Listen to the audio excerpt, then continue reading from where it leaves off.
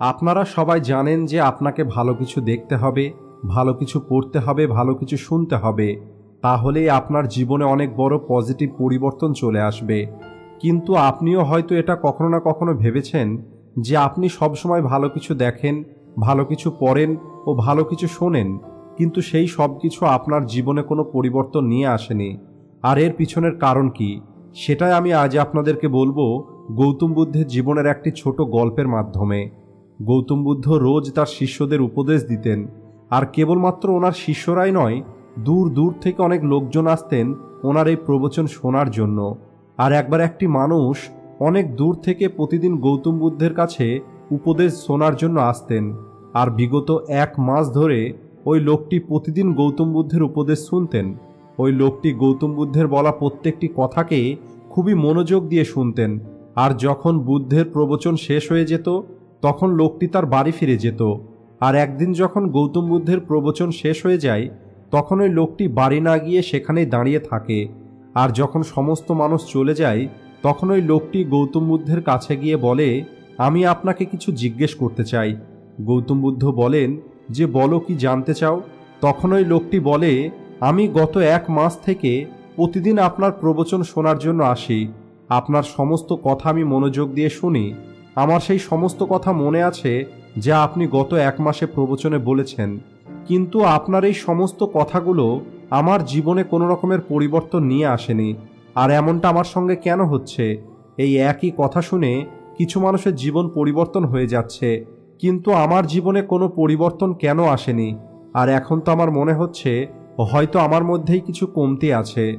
এরপরে গৌতম বুদ্ধ হেসে ওই লোকটিকে জিজ্ঞেস করেন, তুমি কোথায় থাকো? তখন লোকটি তার গ্রামের নাম বলে। এরপরে গৌতম বুদ্ধ বলেন, তুমি এখানে কীভাবে আসো? তখন লোকটি বলে, আমি কখনো পায়ে হেঁটে আসি, কখনো ঘোড়ার গাড়িতে করে আসি, কখনো গরুর গাড়িতে করে আসি। এরপরে গৌতম বুদ্ধ বলেন, এবার তুমি আমাকে এটা বলো, তুমি কি এখানে বসেই তোমার ঘরে পৌঁছাতে পারবে? তখন ওই লোকটি বলে, এটা কীভাবে সম্ভব? আমি এখানে বসে আমার বাড়ি কি করে পৌঁছাবো? আমার বাড়ি পর্যন্ত পৌঁছানোর জন্য আমাকে তো এখান থেকে চলে যেতেই হবে। আর যদি আমি পায়ে হেঁটে না যেতে চাই, তাহলে আমাকে অন্য উপায় খুঁজে বার করতে হবে, যেমন কোনো ঘোড়ার গাড়ি বা কোনো গরুর গাড়ি। এরপরে গৌতম বুদ্ধ বলেন, তুমি একদম ঠিক বলেছ। যে কোনো মানুষকে তার লক্ষ্যে পৌঁছানোর জন্য তাকে চলতেই হবে।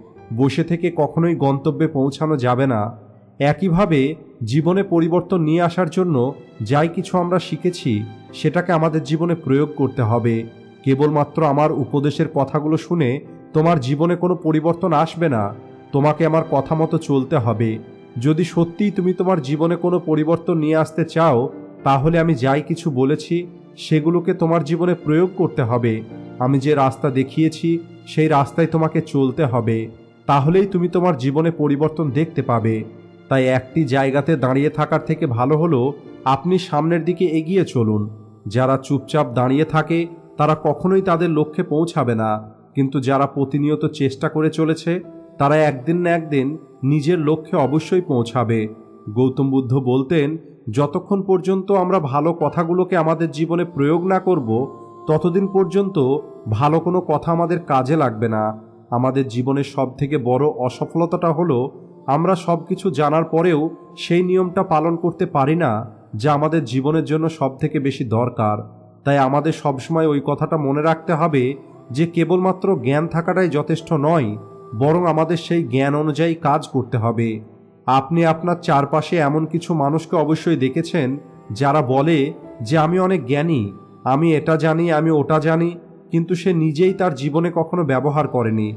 আর যেহেতু তার কথা ও কাজের মধ্যে পার্থক্য আছে, তাই অন্য মানুষগুলো এদের কথাতে বিশ্বাসও করে না।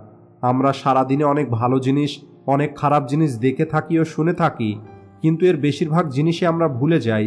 আর কিছু জিনিস আমাদের ব্রেনে লম্বা সময়ের জন্য থেকে যায়, কিন্তু পরে আমরা সেটাও ভুলে যাই। তাই যদি আপনি আপনার জীবনে কোনো পজিটিভ পরিবর্তন নিয়ে আসতে চান, তাহলে আপনাকে কেবলমাত্র ভালো কথা শুনলে হবে না, বরং সেটাকে আপনার জীবনে প্রয়োগ করতে হবে। ভিডিও ভালো লাগলে লাইক ও শেয়ার করতে ভুলবেন না। Thanks for watching.